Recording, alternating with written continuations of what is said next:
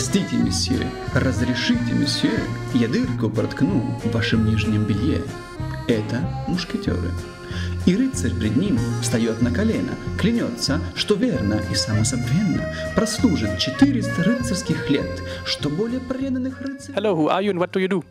I'm uh, Edward Chandrovich. I run Kite Ventures. It's an investment firm. Easy as that. Um, a Russian one, right? Uh, we started in Russia, but then we very quickly expanded into Europe, and uh, we invest globally. Okay, let's speak about it more in detail. What is your focus? Which, what kind of types of companies do you look for? And then maybe some numbers like fund size, how many funds, how many under management, under blah, whatever. So um, we're not a regular fund. Uh, in fact, that, uh, that's something that differentiates us from uh, a lot of others. We um, this, we make different types of investments in right now in global companies. Uh, I think what we look for in companies is uh, that they have um, global ambitions, that uh, they leverage internet uh, as an inherent medium, so as a, as a network, and uh, that they can build a strong brand. And then we invest both uh, into B2B and B2C companies that fit these criteria. the smallest investment that we made was about 50,000. The largest was 30 million. Um, so we're, I, I, would have to say that we're size agnostic. Where does this money come from? What did you do before Kite Ventures? So uh, not all not all of the money is ours, but uh, a good portion of it is. Uh, before Kite Ventures, I founded a company called Merchantry, which is uh, based in New York and builds uh, marketplaces for companies like Amazon, Tesco, and lots of others. and after that, I um, um, I was in a founding team of SUP, which is a Russian media company, an online media company, which is famous for being the first company uh, outside of the US to buy an American internet company. And we bought LiveJournal in uh, 2007. So we've heard that Kite Ventures started in Russia, now you're also in Europe, and you've personally been to the US. What are the differences between these three ecosystems? I think that it's, it's not really the differences between ecosystems per se, but uh, uh, differences between the regions. Uh, if, you, uh, if you look at um, uh, Germany, for example, Germany has always been very strong in precision manufacturing. It's uh, operational excellence, which in the internet translated into very strong execution-related businesses, uh, specifically in e-commerce, which has which has been purely numbers driven. So.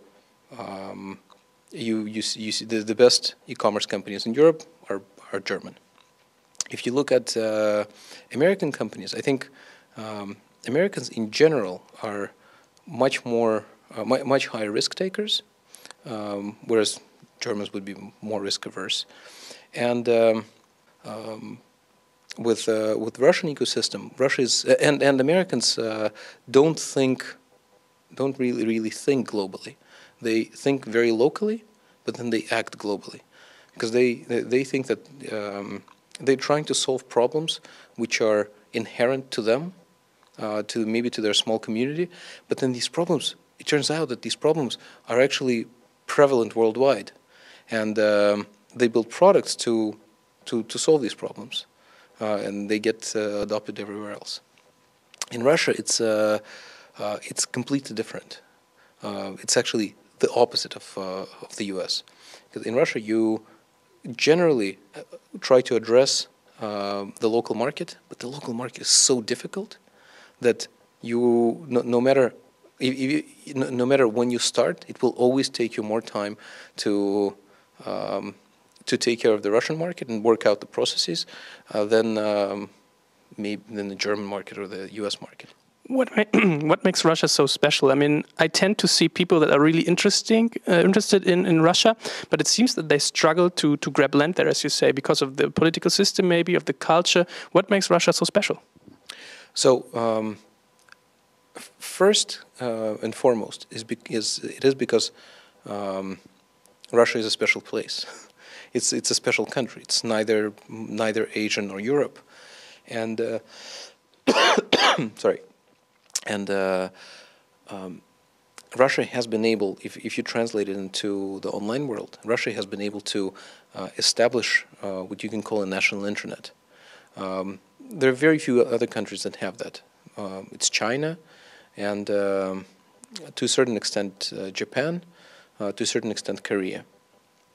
I think it goes back to uh, to some national traits. I mean, both Russia and China have a very um, very strong idea of uh, territorial integrity. It's very important for them to to be tied to the land, to, to be tied to the territory where, where they are. Um, that's why neither Russia nor China were uh, had colonies. I'm still curious. Which of your companies received the 30 million? Um, Delivery Hero. Okay, so actually you're also active in the German market. Maybe some other portfolio companies of yours? Yeah, in the German market, it's um, uh, SponsorPay, uh, Hitfox, and uh.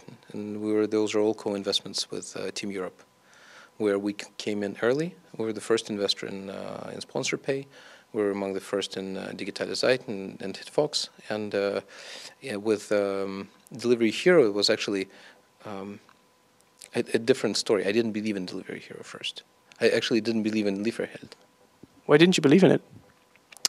I thought it would be very hard to compete with uh, Pizza D as the local incumbent player, and um, mm, then we then when we started looking globally at the market, I realized that uh, it, it is a, it is actually a great opportunity.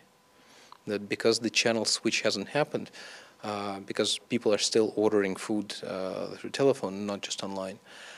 Um, it's um, the market itself is tremendous and will continue growing for years. How does it come that you do so many investments together with Team Europe? Lukas Connect, You like each other? I think we like each other, yeah.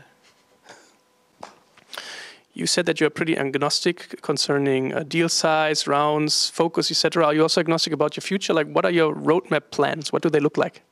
I, I think we, we have certain internal goals with respect to where we want to go, but um, I, I, I don't particularly like to talk about plans.